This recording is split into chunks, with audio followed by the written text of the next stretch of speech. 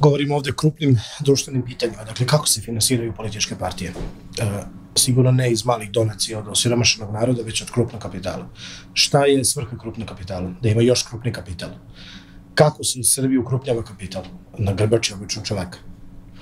Tu se cela priča završava. Dakle, kad god mi potegnemo neko veliko životno i državničko pitanje u ovoj zemlji, ja sam siguran da se politička elita već utalila, dogovorila sa nekim i da onda, eto, kao oni sad nude referendum koji se da pokrasti, nude politički dijalog koji se već pretvara, odnosno sigurno je monolog, nude priliku da izađete u medije u limitiran broj, dva, dve radio stanice, tri televizije, sve ostalo je u njihovim rukama i tako dalje. Farsa, potpuno farsa. Dakle, kad Rio Tinto ovde godinama buši istražuje, pa sigurno to neće raditi i toliko, a realno veliko ulaganje imati, pred ona ogromno ulaganje koje slede, a da već nisu dobili hiljadu jedan put zeleno svetlo da urade šta treba da urade. Možda Rio Tinto u Srbiji ne napravi nikakvu štetu. To je sad u granicama spekulacije. Ali gde god su oni nešto zakupali, oni su napravili problem. Istorija te kompanije nas uči da tu nešto nije u redu. I ne samo na, da kažemo u Srbiji koja je neki zapećak na nekom Balkanu koji u Evropi mi nije toliko bitan. Oni su napravili problem u organizovanim državama kao što je Australija. Oni su napravili, izbrljali su gde god su mogli, iza njih ostaju leševi. Iza njih ostaje prašina, čemer, jad, pakao. Dakle, ja ne znam zašto bi ja verovao jednoj kompaniji stranoj koja dođe u Srbiju, gde mi ne možemo da ubedimo saobraćenu policiju da često to radi posao i inspektora šumarskog da kazni nekog ko krade drva i sad ću ja da verujem jednoj kompaniji koja vrti milijarde, milijardi godišnje da će ona u Srbiji da bude moj najbolji prijatelj, da štiti moju reku i moju šumu i moju decu. Nonsens, ono. Imam pravo da, da sumnjam da, se, da je njihova želja za dolaskom ovde čist profit, izvlačenje kapitala kao što radi razne sve druge kompanije, i ljudi koji nose peled na radnom mestu rade 12 sati dnevno, one svešćaju se i tako dalje pod maskom razvoja države. Ako je to razvoj, onda ova država meni ne želi dobro. Onda ja ne treba da budem savesan građanin, gde će ja moram da povedem bunt. Dakle, moja država, za koju ja mislim da bi trebalo da bude moja država, radi protiv mog interesa, a ja je finansiram. Dakle, moja država sam ja, nije državnički aparat države.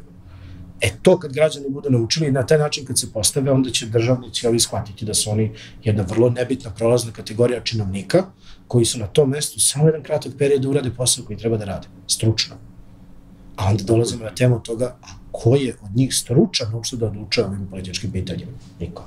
Super si dao Šoferi koji, koji su ministri, ljudi sa sumnjivim kupljenim diplomama. Ko? Evo, mi ćemo sad da izvučemo za uši pet studenta iz studentskih domova u Novom Sadu, Nišu, Beogradu, Kragovicu, da ih postavimo čestitije bi radili ministarske poslove nego ovi danas. Ali to je zaista tako.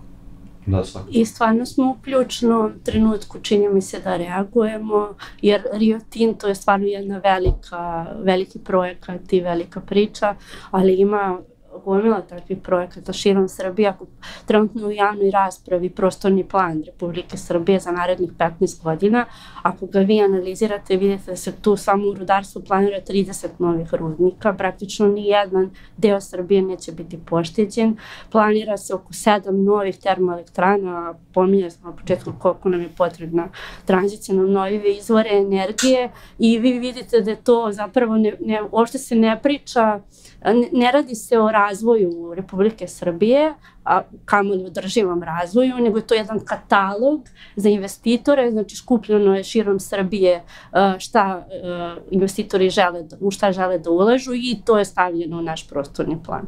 To čak i nije zakonito zato što nama je prvo potreban plan razvoja Republike Srbije po zakonu o planskom sistemu i onda prosto plan, uh, prostorni plan mora se oslanja na plan razvoja. Mi nemamo plan razvoja, imamo, i to, to će isto, verovatno dosta ljudi ne zna, imamo imaginarni plan Srbija 2025 koji je uh, predsednik Vučić sa premijerkom predstavio pre dve godine uh, u Palati Srbija, on ga je crtao na tabli i predstavljao ga na televiziji, taj dokument dokument e, ne postoji, nikada nije usvojen kao uh, dokument javne politike, prostorni plan se u tekstu poziva na, na, na, na, na, na postojeći dokument. Ti pominješ katalog koji je namenjen investitorima. Pa, katalog su i građani ove države. Dakle, mi smo negde stavljeni tamo kao jeftino auto. Bukvalno prodaju nas kao kad ljudi petkom ili subotom ujutro odvoze stoku na pijacu i nude tamo nekim nakupcima ili pijačarima, ne znam ko. Mi smo ti. Ja ne znam da deca političara i ovih donosioca odluka rade po rudnicima. Voze kamione u kolubari na 14 stepeni. To ne rade oni to. To radi taj jedan narod, to smo mi, to su ljudi kojima se obeća na radno mesto. A šta znači da nas radno mesto? Ako ću ja da imam prosječan životni vek 43 godine i neću nikad dočekati penziju, neću stići da sa svojim decom da vidim život i da putujem i da, ili ću pola života da se lečim. Kako je to radno mesto? Ko je to život? Šta je to? Pod maskom da imam, ako sam srećan da imam 450 evra neto platu, a toliko prosječan šveđanin troši na na izlaske i na kamping ono, svakog meseca. To što, me, što ja trošim za kompletan život. To su, to su neverovatne stvari. E, jednostavno, čini mi se da su s neverovatnim naporom jako mudro ubili duh ovom narodu i da nam serviraju takve idiotluke pod maskom kakav razvoj? Razvoj čega? Evo, nek mi neko objasni. Ćemo svi da radimo u pelenima, opet ponavljamo, u fabrikama gde se motaju kablovi. Ja motam kablove za 300 evra mesečno, da bi ga neki bogataš kupio, kupio taj isti auto koji košta 17.000 evra i prodaje ga nakon 3 godine. A ja ću da vozim auto star 25 godina da bi motao kablove opet za tog nekog. Šta radimo mi ovde? I dali smo im besplatno građevinsko zemljište. Zašto neko ne ide i ne daje malim e, preduzećima u Srbiji, ono, a kraj kao NGO, mi zapošljamo ljude Vrlo često da zapošljamo ljude. Da li neko došao kod nas ponudio par hiljada evra po radnom mestu? Pa nije. To je razvoj o kojem oni pričaju. To je mentalno zagađenje. Mi polazimo prvo od mentalnog zagađenja i na kraju nam dolazi svo ovo zagađenje, pomenulo se. Upropašćeni smo totalno. Nema, ja, osim toga što je Žaklina rekla da se ljudi malo bude, ali ja stvarno ne vidim izlaz iz ovoga.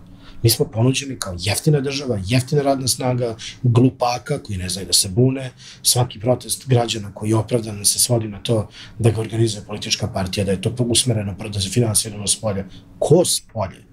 Pa ja bih bio najsrećniji kad bi, kad bi uh, mi dobili grantove iz inostranstva da štitimo sobstveni vazduh. I trebalo bi onda vlast da bude sramota što ne štiti sobstveni vazduh. Sjajno. Baš lepo.